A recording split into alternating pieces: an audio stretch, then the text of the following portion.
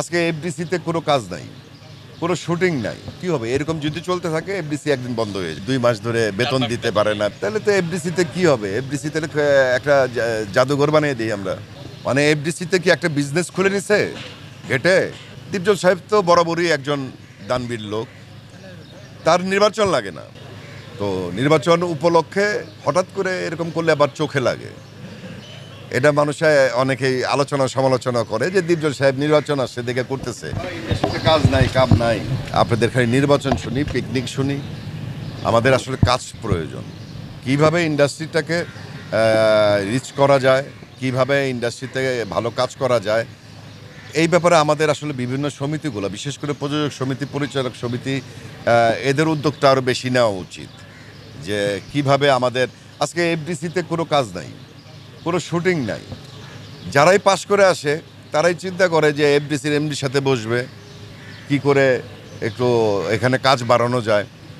আর এখানেও মনে করো যে এফডিসিতে যে কিছু নিয়ম কারণ আছে, তার সঙ্গে আমাদের বাইরে যে আমরা কাজ করি, যারা প্রডিউসার বাইরে যে প্যাকেজ সিস্টেমে আমরা একটা ই করি যে আমরা লাইট ডাবিং এডিটিং শুটিংয়ের লাইট সব কিছু প্যাকেজে আমরা একটা নেই। বাইরে আমরা অনেক কমে পাই। শিল্পী এফডিসিতে করলে দেখা গেল সেটার কষ্ট আর বেড়ে যায়। তাহলে প্রডিউসাররা কেন আসবে এফডিসিতে তো? আমার মনে হয় যে এই জিনিসটাকে নিয়ে বসা উচিত। কারণ এফডিসিতে শুটিং হবে এফডিসিতে ডাবিং হবে এফডিসি কালার কারেকশন হবে এফডিসিতে লাইট দিয়ে কাজ হবে তা হচ্ছে না। তাহলে কি হবে? এরকম যদি চলতে থাকে এফডিসি একদিন বন্ধ হয়ে যাবে। আমি আমি দুই হাজার পনেরো সালে যখন আমি সেক্রেটারি হইলাম তখন একের ধারে এফডিসির রাস্তায় রাস্তায় সেটে সেটে আমি দেখছি কাজ হয়েছে আমি যে করেছি তা না, বাট ওই সময় হয়েছে, আমরাও চেষ্টা করেছি সাকিব আর আমি পাশাপাশি। তো আমি আমার বিশ্বাস যে আমি যদি আবার নির্বাচন কোন পদে করব জানি না। আমি নির্বাচন করলেই যে শুধু করব তা না। আমি এফডিসিতে ঢুকলে আমি চেষ্টা করি এফডিসির এমডির সাথে দেখা করতে, যে আমার পরিচয় দিয়ে আমি আমি বলার চেষ্টা করি। ভাই, আমি একজন শিল্পী এবং একজন প্রডিউসার আমরা কেন বা এফডিসিতে কাজ করতে পারছি না? এখন মনে করো আমি নেতা হইলে বা আমি ইলেকশন করলে যে আমি করব তা না। আমি সবসময় করার চেষ্টা করি। এবং আমি আগামী রোববারেও আমার একটা সিটিং আছে এফডিসির একজন কর্মকর্তার সাথে যে আপনাদের এফডিসির দুরবস্থা কেন? পত্রিকায় দেখি অনেক দুই মাস ধরে বেতন দিতে পারে না বেতন দিতে পারে না। তাহলে কাজ নাই। তাহলে তো এফডিসিতে কি হবে? এফডিসি তাহলে একটা জাদুঘর বানিয়ে দিই আমরা। আমাদের এটা কোনো প্যানেলের না। শিল্পী সমিতির ভিতরে যে ইফতার পার্টি হচ্ছে, এটা মোটামুটি আরও সাত আট বছর থেকেই আমরা যারা পাশ করেছিলাম, আমরা একটা নিয়ম করে দিয়েছিলাম যে প্রতিদিন এফডিসিতে কেউ না কেউ থাকে। সেটা শিল্পী হোক অথবা আমাদের শিল্পীর বাইরে হয়তো জুনিয়র শিল্পী হোক তারা এফডিসি আসে। তারা যেন এখানে বসে একটু ইফতারি করতে পারে। সেটা বিশ জন পঁচিশ জন তিরিশ জন হায়েস্ট পঞ্চাশ জন হইলেও অসুবিধা নাই।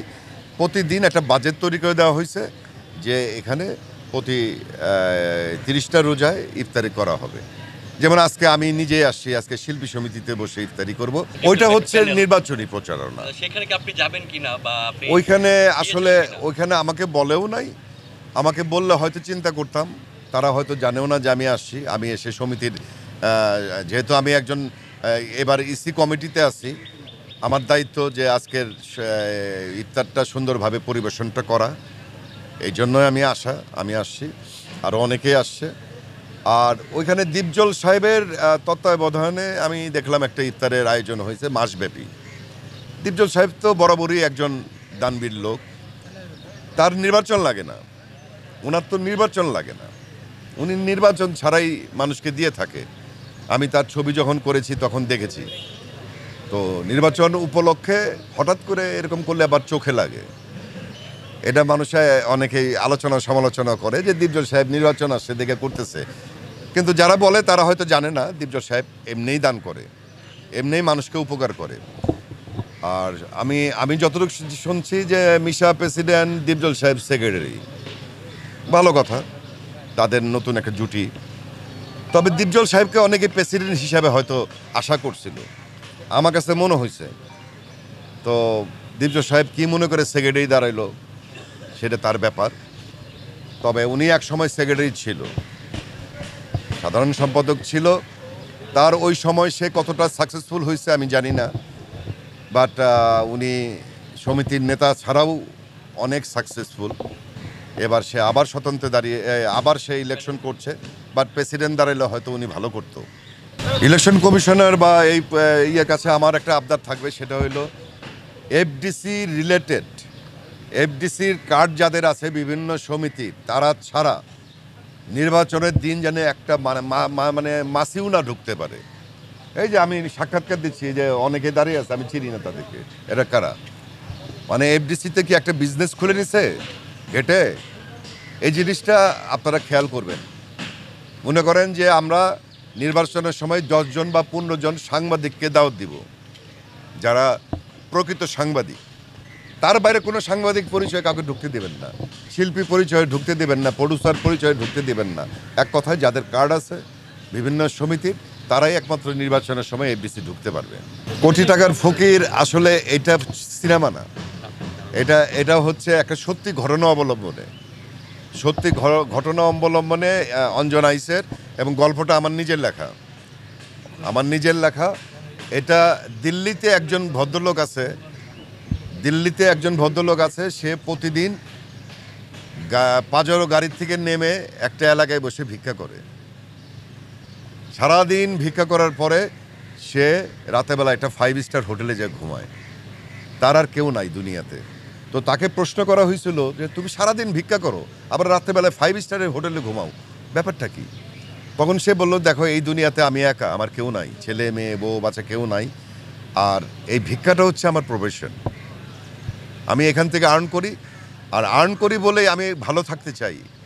যাতে করে রাতে একটু শান্তিতে ঘুমাই। আমি যে ফাইভ স্টার হোটেলে ঘুমাই।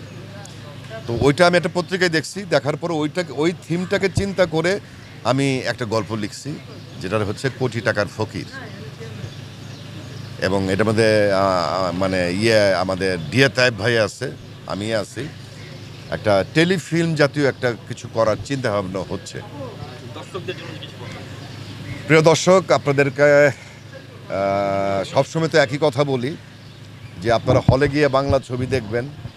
অবশ্য ভালো ছবি না হলে আপনারা হলে যাবেন কেন? এটাও কিন্তু একটা অনেক বড় কথা। তা আমার বিশ্বাস এখন অনেক ভালো ছবি হচ্ছে। যেটা ভালো হয়, যে ছবিটা ভালো লাগবে আপনারা হলে গিয়ে দেখবেন। আর সমালোচনা করবেন, খারাপটাকে আমাদের জানাবেন ভালোটাকে আমাদের জানাবেন। ভালো থাকেন, সুস্থ থাকেন? তো নির্বাচন উপলক্ষে হঠাৎ করে এরকম করলে আবার চোখে লাগে। এটা মানুষে অনেকেই আলোচনা সমালোচনা করে যে দীপজল সাহেব নির্বাচন আসছে দেখে করতেছে।